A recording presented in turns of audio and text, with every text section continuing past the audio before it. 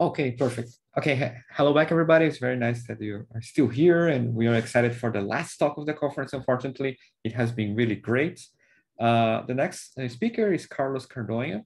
I would, I must say that he is the best in type of, in all types of complexity results. And it's very nice that he's working, he's extending those, uh, his extensive knowledge in approximation algorithms in representation of problems within the context of decision diagrams. So Carlos did his PhD at TU Berlin. Then he worked for several years at IBM Research in Brazil, and now he's a faculty at the Department of Operations and Information Management at the University of Connecticut. So it's a great pleasure to have you here, Carlos. Please enlighten us with your amazing theoretical knowledge. Cool. Thank you very much for the very nice introduction, Andre. Of course, everything Andre said is a lie. I'm, I'm not that good, but yeah, let's that's cool. So, uh, well, thanks everybody. So this event is quite, quite nice. So thanks and congrats to Andre and David for organizing this. I hope we'll have the chance of having more events like that in the, in the near future, hopefully in person, not only online. And this is joint work with my wonderful collaborators, David Bergman, Merve Bodur, and Andre Cire. And well, I will kind of move a little bit slowly in, in this talk. Um, maybe I will be way too slow, but let's see, let's play by ear. I'm going to start giving a very brief introduction about multi-objective optimization.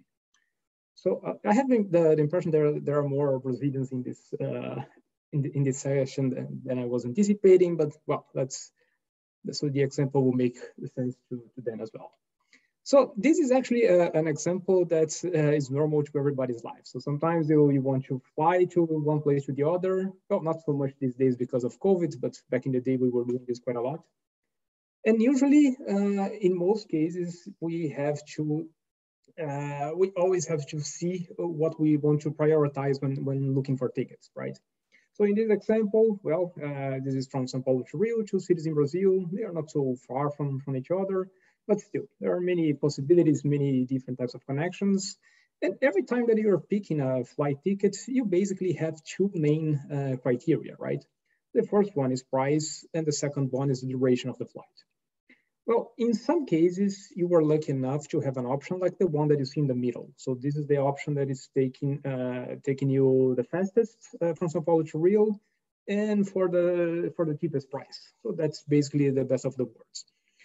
However, in some cases, and those of you who had the, the experience of uh, booking tickets in the past know that this is actually not what we see in most of the cases.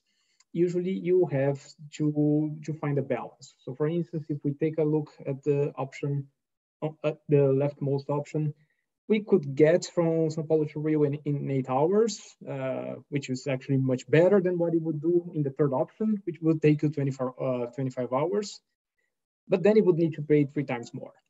So the, the main message here is the following. Well, uh, it's actually not unusual to have different uh, optimization criteria when it comes to, to decision making. And in a very few cases, we have a, a clear uh, winner, we have a clear better option, but that's not always the case. And this would be the case. Here in this uh, particular example, if we had only the first and the third option that show up here in the slide. So let me go to another example, and this is more, those of you who, are, who have a more of an OM background will probably recognize this as the assortment planning problem with inventory constraints. So here we have a problem where we consider a store that has uh, four different products, and the store with, uh, wishes to build a catalog just to decide when, on which project uh, products it should show to, to the customers. In a way, uh, it would make sense to uh, to show all the products, right? Because then uh, it, you could eventually capture more more demand, so to say. But again, those of you who are familiar with the assortment planning literature will probably know that, well, in, even in cases where you have enough space to show everything, that does not necessarily give you the, the very best uh, uh, strategy. And here we do have an issue with uh, shelf capacity. So here I'm going to assume that we have a restriction uh, on the shelf capacity. So I'm going to assume that each item uh, that the store can offer has a certain utility. So that's the, the how the customers value the, the, uh, the product that, that is being offered, and also a certain weight or length. uh, whatever. It's basically uh, represents the, the space that this uh, particular item is, is occupying. And well, uh, actually, I'm pretty sure that at this point, everybody here in this talk is uh, uh, an expert in decision diagrams, and you probably saw knapsack problems a lot in your life. If you haven't, that only means that you are uh, young. You will see a lot in your career for sure. And well, what we have here, in, if we just take into account a single objective, if we assume that all the utilities are the same, then we basically have the traditional knapsack problem, and this is actually uh, yeah, a business as usual type of problem, right? We it's NP hard, it's weakly NP hard, but still we know how to solve them very well. So bottom line, no one is afraid of knapsack problems uh, these days. However, uh, the truth is that, well, the, the nice thing about this example is that it's very easy to see that this uh, description that I gave is not really precise, right? So uh, in in many, in many cases, we do have a market segmentation. So that basically means that certain customers give the give a certain utility to an item, but then when you go to another segment in the market, the utility that assigned to the same uh, item to the same product will be different. And here in, in our example, I'm basically dividing this by, by age, right? So some customers that are younger than 18, they have a certain utility and customers that are older than 18, they have a different utility. And just by quickly inspecting the, the vectors here, you can see that uh, there are some differences that will actually make our life slightly more complicated. So then what we have in the end is the following. Uh, we have the same problem. We still have the knapsack uh, constraint, as you can see. We still have a binary uh, problem. We either want to pick a certain item or not. But now we have two different uh, optimization functions to optimize over.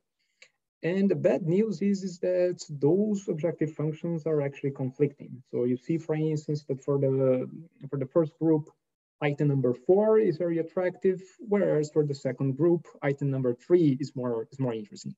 So yeah, well, everybody here in this presentation is much smarter than me. Probably you know already how to solve this problem just by looking at it, because the problem is small. But still, it should be clear that in this particular case, the we have conflicting objectives. So the decision-making process here is slightly more complicated.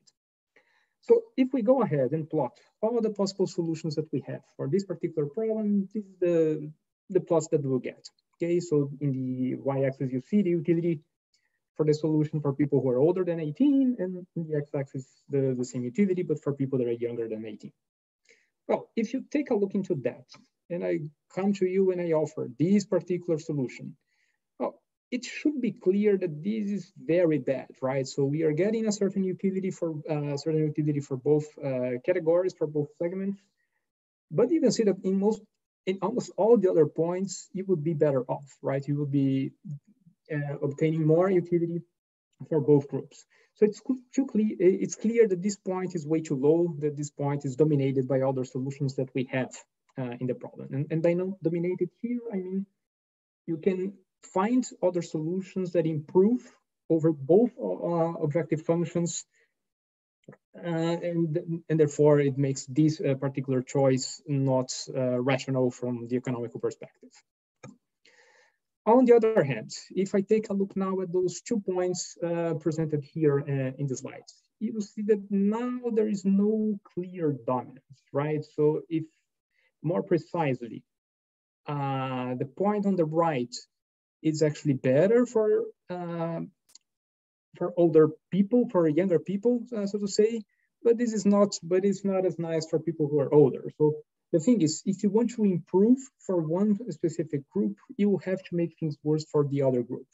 So it's clear that here, this is the point where we are not talking, uh, the decision-making process here is not about math anymore, but it's more about, uh, about preferences, much about the taste whatever the maker wants to accomplish. Incorporating an aspect that is uh, uh, explicitly formulated in the problem. And this is the same for all the points that I'm uh, presenting here. And well, uh, we have uh, fancy uh, for that. So the set of solutions, the set of points that are not dominated by any other points uh, in, in the space of feasible solutions is referred to as the Pareto frontier of our problem. So when I talk about Pareto frontier or non-dominated solutions, I'm talking about the same thing. Okay? I hope this is clear. Again, uh, even if you are not super familiar with multi-objective uh, optimization, I think that the concepts are more or less easy to follow. But of course, if you have questions, feel free to, to stop. Now that we have the, the problem that we uh, understand what we have here, uh, the first thing is, well, it actually makes a lot of sense to, to consider uh, multi-objective problems because the real problems that we have in life they have multi-objective aspects all around.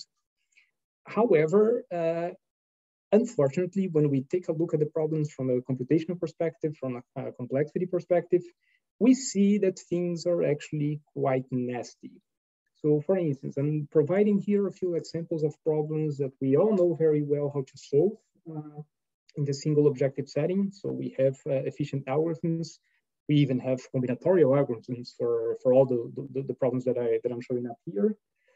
But uh, when you extend this problem to the bi-objective setting, if you assume that you have at least two objective functions to optimize over for these problems, then things get hard already. So that those problems are already NP hard. And finally, well, I told, I just mentioned the, the frontier. And the bad thing here is that not only those problems are hard, but the Pareto frontier may actually be exponentially large. And this is not only a problem from the computational perspective, so it's clear if the Pareto frontier can be exponentially large, there's no way you can come up with a polynomial, uh, uh, with a polynomial algorithm to solve the problem.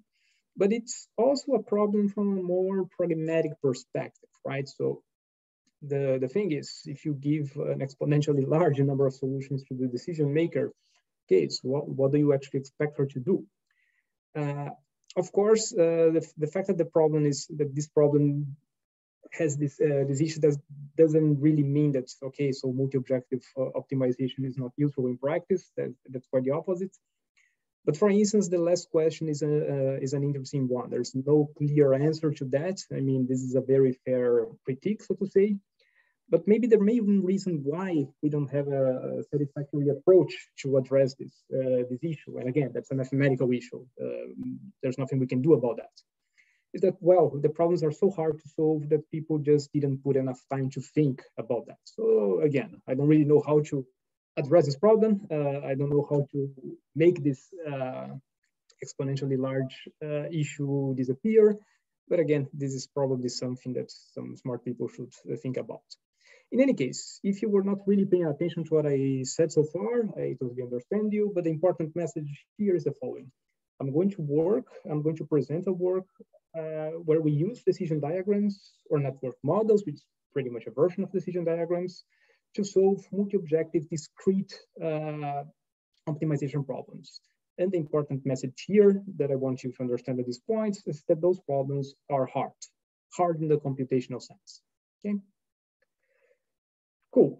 Uh, well, as we all know here, uh, showing that a problem is hard doesn't make the problem disappear, especially in practice, right? So of course, people have to solve uh, hard problems somehow. And actually, when we think about multi-objective problems, again, the, the, example that I gave is a concrete example, right? So we actually see those problems all the time. So there are two clear direct ways of approaching multi-objective optimization. So the first one uh, consists of replacing the multi-objective expression for a single objective problem. And basically the way to do that is by assigning different weights to the different objectives, okay? So there is, a, so this technique uh, is actually, it's, it's, it's actually convenient, uh, so to say.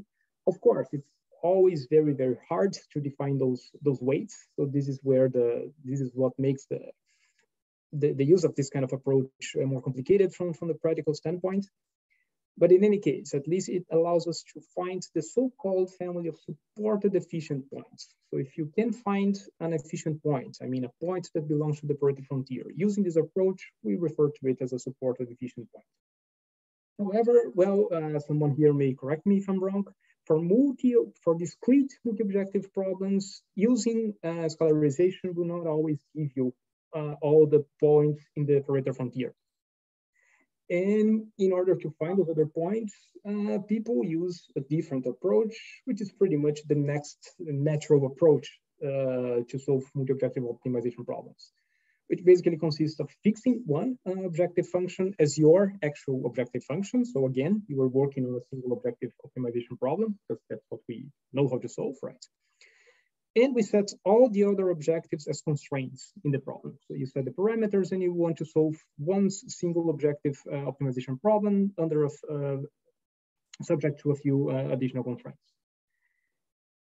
And this uh, approach, actually, for instance, in the example that I gave about the flight tickets, this is probably the most appropriate approach, right? Uh, even though we have to value our time, we have to set uh, financial values to, to our time, it's hard to do that in practice, right? So on that particular case, in the flight tickets uh, example, usually you would set, for instance, a limit, uh, a constraint on the number of hours that you want to, to spend uh, on, on, your flight, and then you would try to minimize the cost, right? So this is what most people do.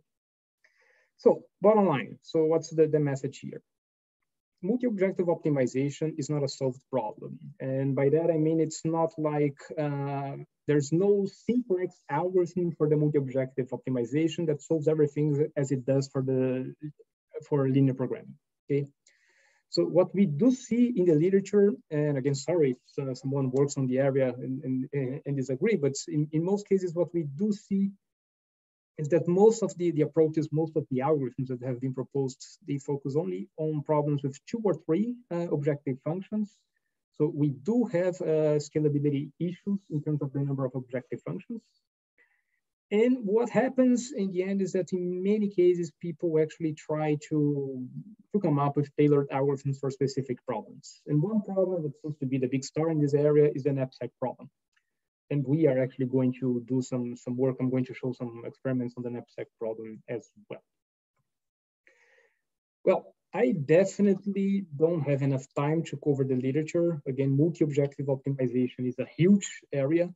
And some people here in this, uh, uh, in this meeting probably know this area much better than me. The important thing is the following. So as the baseline, what we are going to use as the baseline to compare our proposed approaches, we are going to, uh, we're, those are algorithms based on the criterion space search which basically use the two methods that, I, that I've mentioned before to, to find the points. There's also a decision space uh, search, and I'm not going to talk at all uh, about that. And our approach is more closely related to dynamic programming. So yeah, again, at, at this point, it should be very clear to everybody that uh, the decision diagrams is pretty much dynamic programming going on, right? And what we are doing here is pretty much a, a, kind of an implementation of dynamic programming as well, a smart way of representing states and things like that.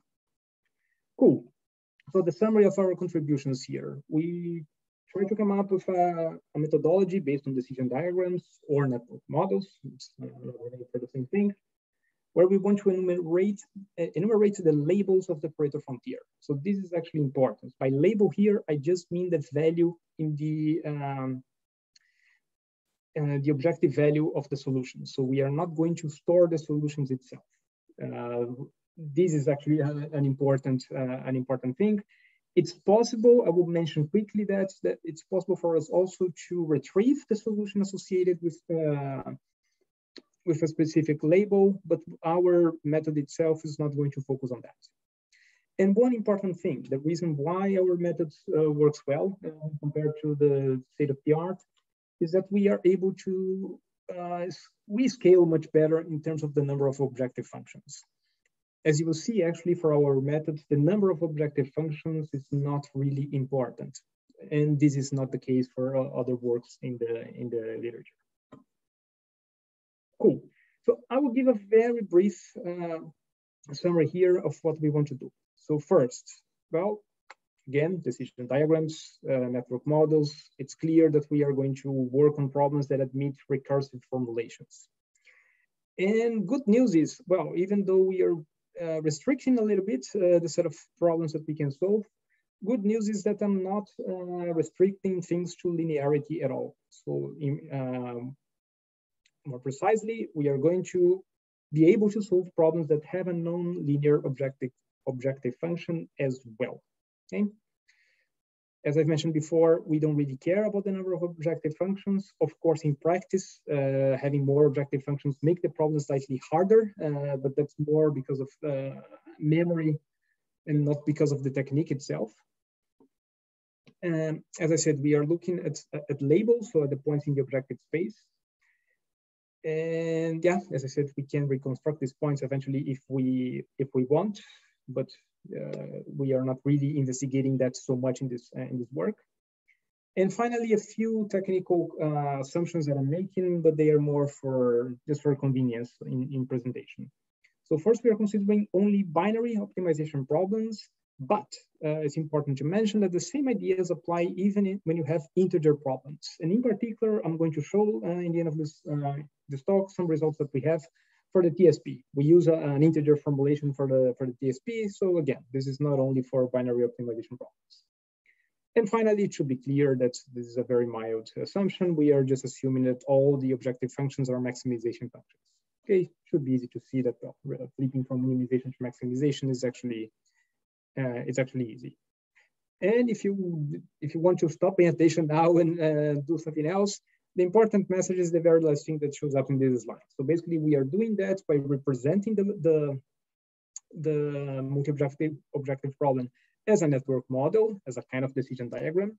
And we want to enumerate the Pareto frontier using the criteria shortest path algorithms. Okay, so, and the nice thing is that, well, there are a lot of people working on multi-objective shortest path algorithms. So uh, whatever they do in terms of progressing uh, in this area, it, it will only help us because it, it will only make our methods uh, better. Cool. So basically, we have two different uh, techniques here to, to construct those uh, decision diagrams, but they basically have the same kind of structure. So first, we design a recursive formulation for the problem. And by a recursive formulation, I'm basically talking about states and state transitions, okay?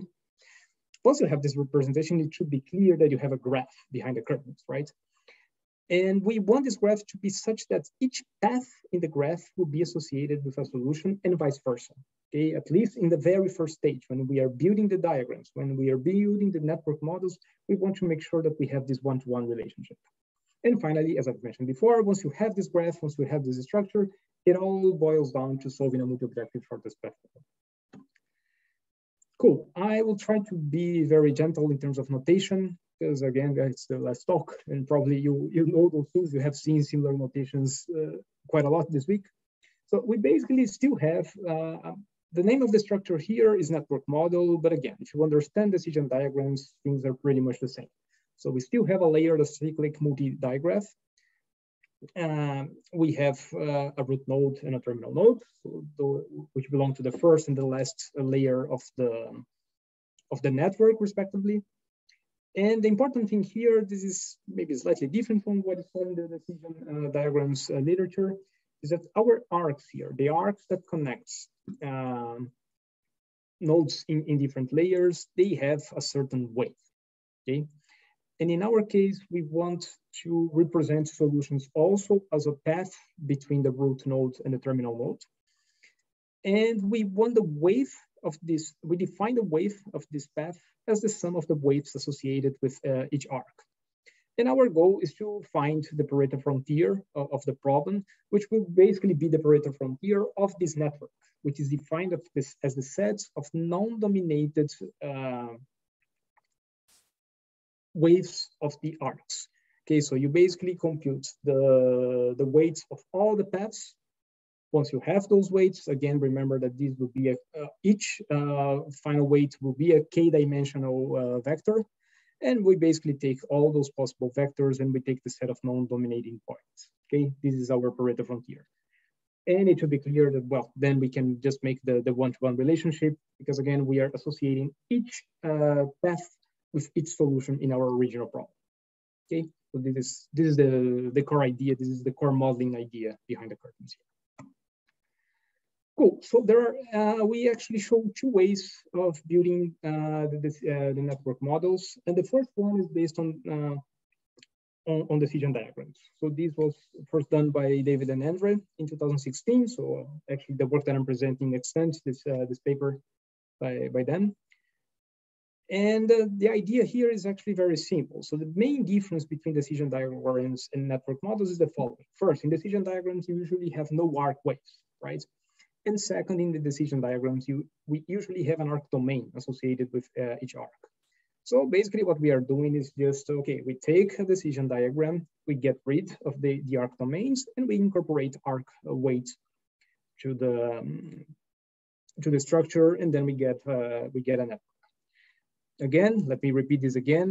I know that I'm repeating this for the third or fourth, fourth time already, but this is important. At the beginning, we will have a structure that represents all the solutions, but then I'm going to show a few transformations that we do in the network in order to make this network more compact. This will be great because this will help us computationally, but then we will actually lose information about the solution vectors, okay? So good. Uh, well, just to give an example on how to make the transformation uh, from decision diagrams. Well, again, we have here the same uh, knapsack problem that we saw before. And the one decision diagram representation of the knapsack problem is actually simple, right? So you have the states uh, being uh, associated with the, the weights that have been reached so far for, for the knapsack. And then transitions basically represent whether you're picking a certain item or not.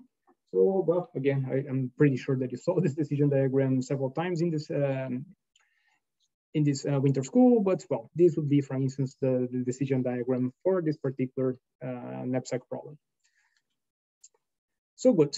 Once you have this, uh, this first representation, well, here uh, with the decision diagram representation, I have all the information about, um, about feasibility, right? So this is uh, an exact representation of the, of the problem.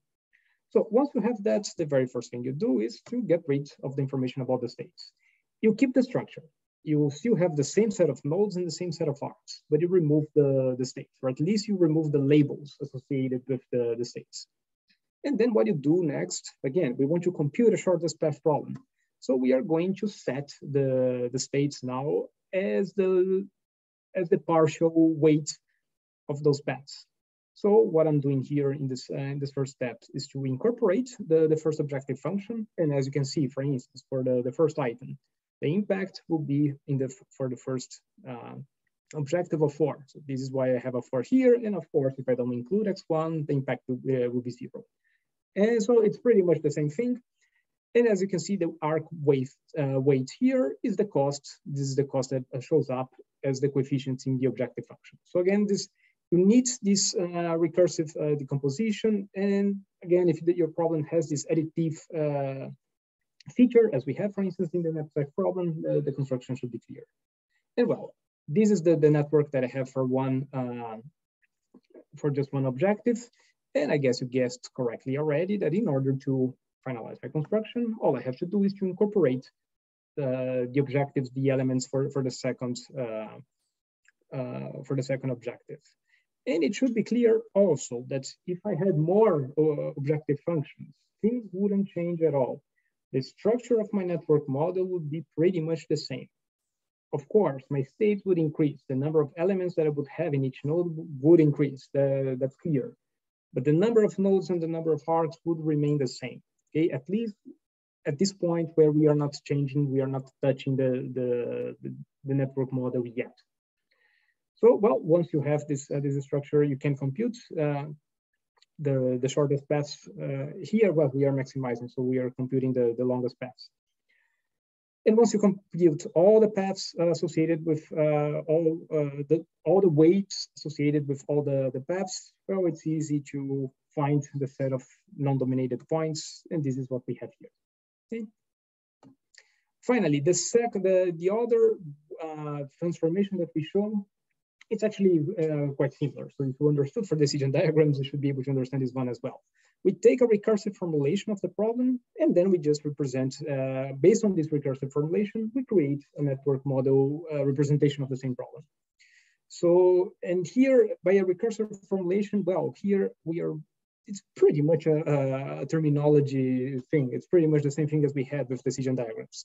You have a state transition graph where you're representing uh, all the states in your system you have a certain arc that uh, connecting a connecting a pair of uh, states if there is some action that you can take that will take you from the first to, to the second node.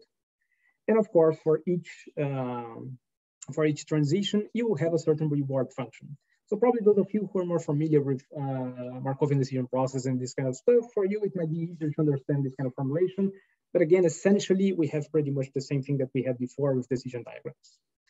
Well, I'm not going to show the whole thing here, but just to make sure that this uh, recursive formulation is not scaring anyone, this is the recursive formulation that we have, for instance, for uh, a set packing problem, right? So we basically have a state representing whether the constraints are being satisfied or not. So it's basically an indicator of whether the, the constraint is binding or not given the, the current solution. And once you have uh, this particular representation, business as usual, you just remove all the, the states and you repeat the same procedure that I just described for the knapsack problem. So again, two different ways of building uh, network models based on different representations on, uh, of the original problem. But again, essentially, they are pretty much the same. Cool. Uh, this is a good point to see if someone has any questions. So, so far, all everything that we saw is how to construct the, the network models. So if anyone has any question, this would be a good point.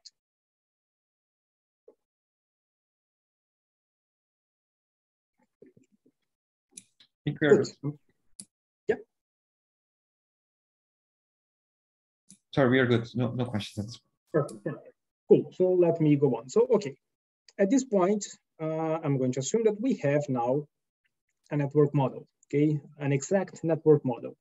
So we have an exact representation. If we solve the problem using, uh, using this uh, network model, we can get the Pareto frontier. And in addition to that, it's easy for us to also get the solution associated with each, uh, with each label, which is actually great. However, the thing is, well, we saw already uh, several times in this in this school that, well, just like uh, decision diagrams, network models can go very large very quickly. So what we are going to do is to present a set of validity preserving operations, which are basically operations that we, that we apply over the network models that will allow us to reduce the network, network model while preserving the Pareto frontier, okay? So that, this is actually very good news because, well, if you reduce the network models, it's clear that the algorithms will run faster. However, on the negative side, in order to do that, uh, by incorporating, so by applying some of these operations, we may eventually include infeasible paths, or we may eventually exclude feasible paths. So again, we don't have a, an explicit representation of the solution. Of course, if you bookkeep all the transformations, all the operations that you have applied, you can always go back once you have a, a, favorite label in your Pareto frontier, you can always go back to the original network, restore the original network, and get the, the solution back. But again, this is not going to be our focus here. And we considered in, in, this, uh, in this work uh, three types of operations. So the first one is, uh, is the so-called arc removal, and this is actually very simple. So let's suppose that we have a pair of uh, a pair of nodes. Let's suppose that we have two or more arcs connecting those nodes. Well, if I have one of these arcs completely dominating the other, and remembering that I want to maximize over all the objective functions, it should be clear that, for instance, if I take a look at this uh, uh specific connection, it never makes sense for me to reverse uh, the arc that has uh, uh, weights zero and zero, right? So I can get more utility from the other arc where I get weights one and three. Same thing for the arc for the for the last arc here connecting the, the terminal. It doesn't make sense for me to take the path, any path going through zero, zero, if I can always go through eight, three, okay? So what we are doing is the following. Uh, whenever we have situations like that, where we have a pair of arcs connecting the same pair of uh, nodes, and where one of the arcs completely dominates the other, we can just go ahead and remove those guys, okay? Uh, we can show, and we actually show this in the um, in the paper that deciding whether there is an arc that you can remove or not and removing without uh, losing all the elements in the Pareto frontier is actually NP hard. Okay, so of course this, uh, the, these examples that I gave are, are, are simple, they are kind of obvious, but if you want to do this in a more generic setting, the problem gets. Cool. The other operation actually is, uh, by itself is not super exciting, but it will be combined with another one that will make it more interesting. So this is the so-called weight shifting operation. And this is actually simple. So if I have, for instance, one specific arc, like this one here, UT, that has weights eight and three, one thing that I can do is to basically push this, uh, this weights to the arcs that are arriving at U. So I basically add this utility. I basically add this weight to all the arcs that are uh, arriving at U. And if I do that, well, then I can just go ahead and replace this arc here, the weight to zero. And this is what I'm doing here. It should be more or less clear that if I do that, I'm not going to change anything in terms of the Pareto frontier. However, it should be clear already that if I do that, I will start to incorporate weird solutions when I look in the in the solution space, right? So the solutions that I'm getting now, it, it, it starts to get weird to, to understand well, what's going on in terms of the solution. So again, I'm doing something that will preserve the Pareto frontier, but will eliminate, it will make our solutions uh, look strange. But good, well, again, uh, the goal of the VPOs is to reduce the, the network. And it's obvious that I haven't reduced anything here, right? But again, this operation uh, gets more interesting when we combine with node merging. And node merging, well, as you can see, there's a big statement there, but the, the operation is actually simple. So let's suppose that we have two different nodes in the same layer and that they are connected to the same set of nodes in the, in the, in the next layer. And all those connections have exactly the same weight. Well, in this case, it should be clear that I can merge those two nodes, right? Uh, if I merge those two nodes, I will preserve all the paths that I have. So the Pareto frontier won't be affected by, by this operation. And I will get uh, rid of uh, one of the nodes. Again, this operation also screws up with the decision uh, space, but it doesn't do anything, it doesn't do any harm in my objective space. Okay. Finally, this is just uh, another example where I'm doing again the weight shift operation here. So I have these two, eight, two. I just bring it up, and then once I have those those guys uh, increasing both two guys equal to zero, I can merge those two nodes. So yeah, that's basically that. Not really sophisticated or complicated, but as we are going to see, quite powerful. So good. At this point, we saw how to construct uh, a network model. Then we saw how to reduce this network model. Perfect. Now, the very last thing that we have to do is to finally compute the Pareto frontier. Okay? This here, I do have a very uh, important disclaimer. Actually, we are not really proposing anything new here. So in a way, what we are doing, uh, at least in this uh, specific step of the of the solution method, is pretty similar to what some other people have done before in the in the literature. So yeah, I mean, it's not exactly equal. People have not studied exactly this kind of uh, construction before, but the, the ideas are, are somehow similar. So first, uh, well, the, the most basic ones are the so-called unidirectional compilations. And yeah, you, you basically have two approaches, either bottom-up or top-down. And well, this basically uh, boils down to computing the shortest path, either starting at the root node or starting at the terminal node, okay? So business as usual, nothing really complicated here. One thing that I do want to catch your attention though is the following as you can see, so the red nodes are top down, right? So we start here and then we go down. And as we go down, you can see that the number of solutions that show up increases quite a lot, right? And again, remember the results that I've mentioned uh, at the beginning. The size of the Pareto frontier can be exponential in, in the size of the problem. So one problem that we have here is the following. Okay, so the number of uh, the number of objective functions is not really affecting our construction at all. But of course, the set of labels, the number of labels that we are representing in, in the network, these eventually becomes a problem, should be clear, right? So we have to handle a lot of elements. This requires uh, space and this requires time. So based on, uh, on this observation, so yeah, a natural idea is to actually come up with something that we refer to as the bidirectional compilation. So instead of just computing uh, in, in one direction, we kind of try to compute on both from, from both directions at the same time. And we basically rely on at the end on a coupling operation. So you can basically think that we are going from, from the top to down. We, we, we construct uh, in one direction and then we also go bottom up. And then at some point, those guys have to merge. So here, when we use a bidirectional compilation, the Pareto frontier will not be at the root node or at the terminal nodes as we had in the unidirectional compilation. This will be somehow in the middle, right? And we can all uh, we can actually show and this uh, has, again this this kind of result has appeared uh, before in the multi-objective literature that we can do this efficiently. So doing these coupling operations is not really really hard. So the way we did uh, was the following. Well, we basically uh, proceed with the top-down and the bottom-up approach uh, simultaneously. And we always pick uh, the layer to uh, expand over that has the minimum number of uh, the minimum number of layers. Uh, yeah, the minimum number of labels. So we basically count how many labels, how many labels we have in all the nodes in a certain uh, in a certain layer, and the one that has a, the smallest we, we expand over. And we basically stop, of course, when both, uh, when both uh, sides meet each other. And here, for those of you who are looking for open problems, I do have two to mention to you. So when we were working on this uh, on this problem, well, our uh, approach is heuristic, right? So in the end, we are doing this bidirectional compilation because we want to minimize the number of um, labels that will be represented in, in the network model but it's not really clear how you can determine the best layer to couple on, especially beforehand, right? So of course, if you have already the, the network, then it's clear, it's, uh, it's trivial uh, how to do that.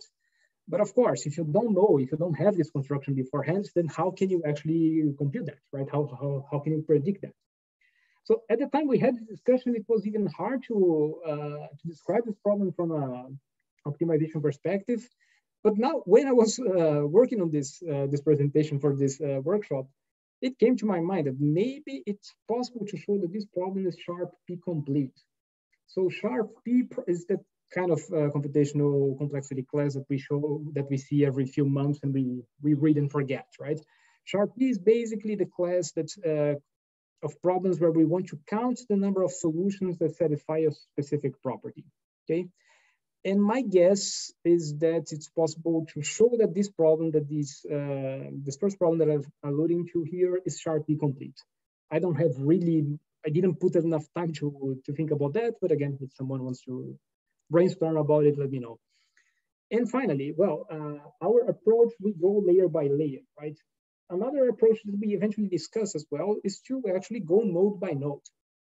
And you can do that. Uh, the problem is that it gets trickier for, for the coupling operations, and it also gets trickier in terms of representation. So this would probably, this could probably be more efficient, so to say, in terms of uh, minimizing the number of labels.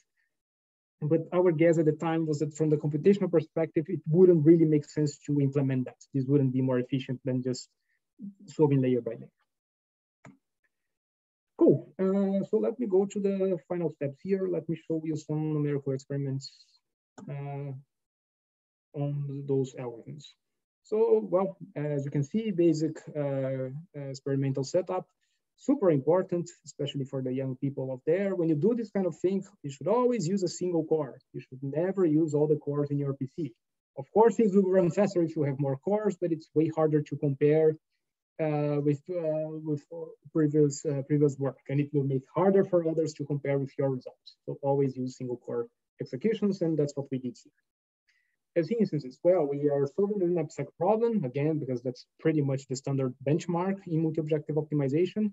We also solved some set covering set setback, set packing problems, and in addition to that, I'm also going to show quickly some results about the TSP. Again, this is an, an example where the problem is not binary. This is an integer uh, optimization problem. And finally, I'm also going to show a problem that is nonlinear. Okay? As the algorithms. So we are comparing against uh, three uh, state-of-the-art algorithms in, uh, in the area. And we do have uh, a few different versions of the network model-based algorithms. One thing that I didn't mention is label filtering. So label filtering, uh, it's clear that once you have a set of labels associated with a node, if one node is dominating the other, well, we can eliminate that node uh, immediately, right? But in some cases, you can be slightly smarter. In some cases, you can see that, okay, if I have this particular label in this node and this other label in this node, and I have some dominance uh, relationship, I can actually start to get rid of some labels uh, already. I'm not going to talk much about that. And this is actually is kind of application dependent. So this is why I'm not spending so much time on that. And you're only going to see results about those guys in the knapsack problem. So, but, but our uh, algorithms are pretty much the bottom-up approach, the top-down approach, and the, the coupling approach. Cool. So first, for the knapsack problem, the, the important things here are the following. So first, we are solving problems with up to seven objective functions. Okay, so for the area, again, as I've mentioned at the beginning, people usually prefer to, so yeah, people usually focus on problems with two or three objectives, and here we are being able to solve problems with seven, okay? And our algorithm is actually, uh, and as you know, you will see, well, let me actually show directly the plot, it will be easier. As you can see, our algorithms clearly dominates the, the state of the art. Uh, in this case, we implemented uh, filtering, and as you can see with filtering, uh, the algorithms get slightly better, but still, even if you ignore filtering, it's clear that our results are clearly better. And uh, the interesting thing, this will be more clear in this plot, is that we actually shine, so to say, our approach gets actually better when the number, especially uh, relatively to the previous state of the art, especially when the size of the, the Pareto frontier grows. So of course, when the size of the Pareto frontier is small, when the problem is small, then pretty much all the algorithms perform well, of course. But as the number of, uh, uh, as the size of the Pareto frontier grows, then yeah, of course, at some point it gets hard for us as well because uh, because of memory. But if we can fit things in memory, then we can do better, we scale better. For the set covering and set packing problems, so those two problems, uh, well, we basically have the very similar re uh, results to both of them. And well, the, the interesting thing is that again, we are we are beating the state of the art, but also super important. And let me also uh, show this in for the knapsack problem. So for the knapsack problem, we had 450 instances for uh, to solve. And as you can see here, the best performing algorithm is solving only 350. So again, the problem is not solved. Our methods, I'm, I'm, trying to make the case here and say that it's that it's good, but again, it doesn't completely solve the problem. And the same thing for the set covering. So we had 150 uh, instances for the problem. And as you can see, we were able to solve about 100. And then the interesting thing is that, as you can see, we can either solve the problem quickly and by quickly, I mean in, in five minutes or so, or the problem gets super, super hard and then we just can't solve those guys anymore. And using this, uh, this plot, this cumulative plot, again, we, we have the advantage, but it's important to say that we also lose uh, sometimes here.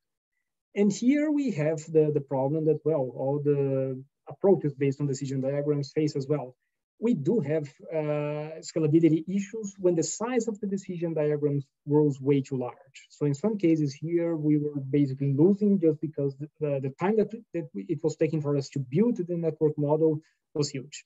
So in terms of finding the shortest paths, we, we do quite well, but building the network model, when the, uh, when the network model gets really, really large, then we struggle a little bit.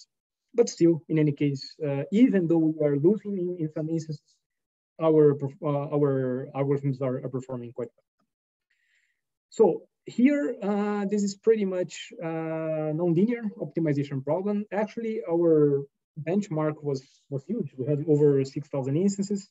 But for the vast majority, we were able to solve the problem very, very quickly. So the, the results that I'm reporting here, they are very, they are restricted. They are, again, I'm only talking about 450 instances. And in this case, uh, as you can see, the difference is actually brutal. So here we were really able to solve pretty much everything very quickly. We, we were able to solve almost all the instances in, in 10 minutes or so. And the other methods, of course, for those harder instances, they were not uh, they were not even close. Again, because those methods are pretty much they are more focused on, on linear optimization. They do much better in, in linear optimization. But when you have nonlinear optimization, things get uh, slightly nastier. And again, for us, this is not really a problem. Again, if you, that's the nice thing of having a decision diagram uh, behind the curtains.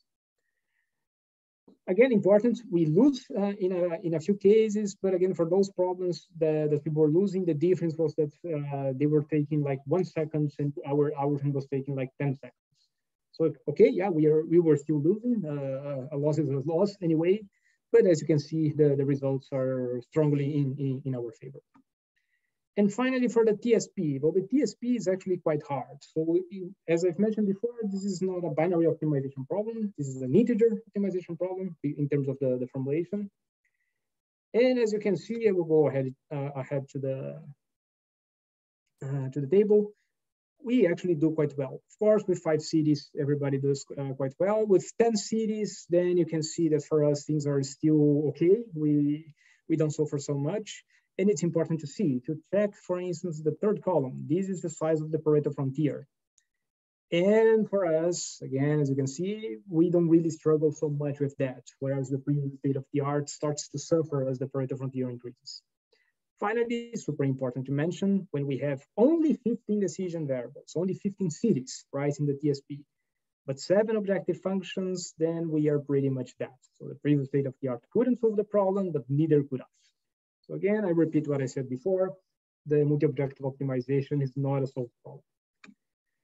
Yeah, and that's basically that. So basically what I showed was a new framework to solve uh, multi-objective uh, optimization problems. It's based on network models. If you don't know what network model is, it's pretty much a decision diagram. And this actually works pretty well because we have to, uh, after we incorporate the validity preserving operations, okay? So we saw that we were able to beat some of the, the, the other methods in the state of the art. And again, well, one of our advantages is the fact that we don't suffer so much when the Pareto frontier gets way too big. And yeah, so this work is based on two articles that have been published uh, already. And if you have questions, I'll be happy to take them. Thanks so much, Carlos. Uh, was an excellent talk. Does anybody have, I, I do have a question from Isaac. Um, so Isaac is asking, this isn't exactly specific to this presentation, but you mentioned running tests on a single core for comparability. And I have been wondering about that aspect of the results section generally. It seems to me that one of the cool things about this is how incredibly parallelizable they are. What do you do if you have an algorithm that is, isn't necessarily being in the state of the art on one core, but it blows it away on several? Wonderful. That's a wonderful question. Uh, the thing is, uh, in, in this particular, yeah, so this is actually, this, this kind of work is actually gaining more traction now, right? So now it does. So the Gurobi, for instance, it's a great, so Gurobi, for instance, was designed pretty much to explore uh, several threads, several cores. So yeah, this, this is a, actually a, a, very fair point. The thing is, but why did I make the, the comment? Uh, when you have um, several threads, several cores, the comparison between uh, algorithms gets slightly more complicated, right? So it's already complicated to compare whatever results I got from whatever results you got in your computer if you consider just one core. If you have several different cores, well, you're not only taking into account uh, the execution time of your process, there are also other things going on, right?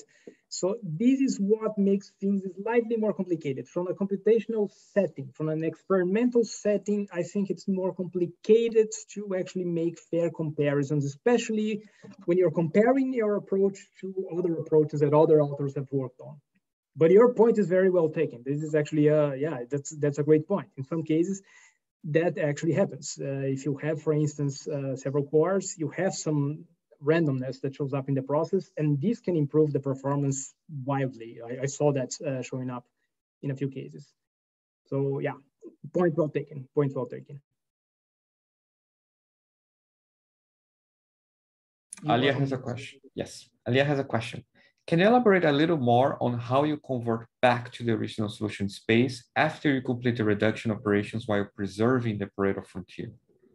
Okay, I will elaborate a little more because uh, we really didn't focus on that on this work. So one way that you could do that is by, so for instance, that's one, one possible approach, is well, once you find the solution that you actually uh, like, you can keep track of the VPOs of the, uh, the, the, operations that you executed, and you can reverse back the, the network accordingly, right? So you can undo all the, the operations that you have done before. Of course, your network will, will, will, will increase again. But again, if you keep track of that, well, then you actually know how to how to find the, the path between the, this particular solution that you have and the root node. So this would be one, one way. I think that we also uh, discussed back in the day, Andre will probably remember that better than me. I think that you can also kind of build uh, MIPS and things like that to compute the the actual solution associated with a with a label, right, Andre? But I think yeah. the easiest way was to actually undo the the VPOs.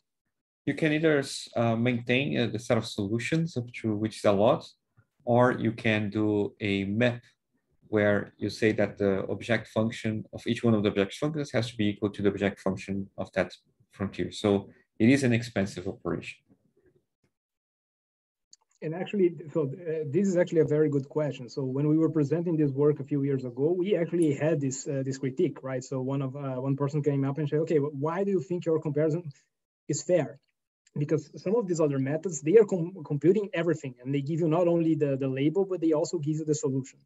And in our case, we are only focusing on the on the label. So yeah, eh, it's a fair point. It's a point very well taken, but yeah, it is what it is. So that's the trade-off.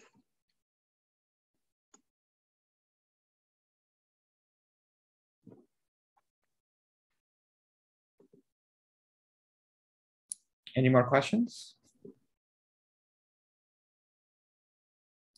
To complement Isaac on parallelization with DDs, actually there is a, it is a, becoming an active area Isaac. Uh, I know that uh, maybe you heard uh, Xavier Guillard. He has parallelization in his DD solver. Um, there are some people from IBM research that work on the deparallelizations as well. Uh, when you have the branch and bound with DDs and you parallelize it. And there, there is other, there's another range of works that they do more DP based. For example, they do, they use GPUs to parallelize the solution of dynamic programming models. It's a relatively recent paper on informational computing, and you could do the same thing with DDs. Maybe there is a project for you there. Any more questions? No? Sorry, I had to miss the whole thing today, everybody, uh, but class is called. Well, we are just finishing off. Uh, so thanks so much, everybody. Uh, Dave, let's conclude this. And it was a great pleasure to have you all. I've just finished the recording here.